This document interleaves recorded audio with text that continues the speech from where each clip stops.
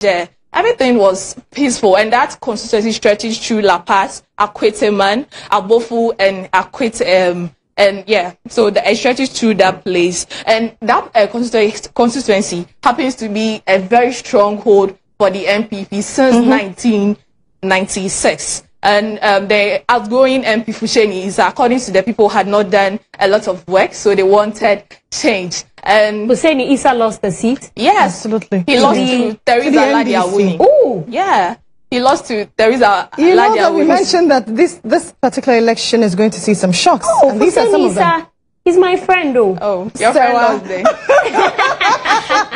you come I mean, back he comes, you know, he comes, he comes on our show, GH Today. A lot. Uh, yes.